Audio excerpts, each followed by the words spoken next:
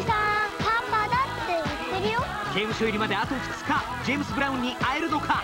愛しの娘に会えるのか。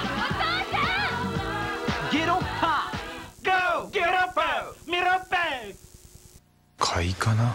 インターネットで株ですか？何見てんの？僕はやり手ビジネスマンですって言ってるわけだ。言ってないですよ。FMV でインターネット。私のことは落ちこぼれサラリーマンだって。いやだから言ってないじゃないですか着信ランプがついてるのになぜメールを見ないんだ？俺の勝手でしょ。部長からだったらどうする？あんた知ってんのかよ。仕事のトラブルだ勝手に決めんな世界最軽量の FMV また請求書のミスかな？なんで知ってんの？なんだよ。ちょっと見てくれる？私の DVD 作品だ。座りなさい拓也。拓也。何こはい座って。拓也座りなさい。まだまだな拓れ DVD 内蔵 FMV でモバイル。拓也。どっちがご主人なの？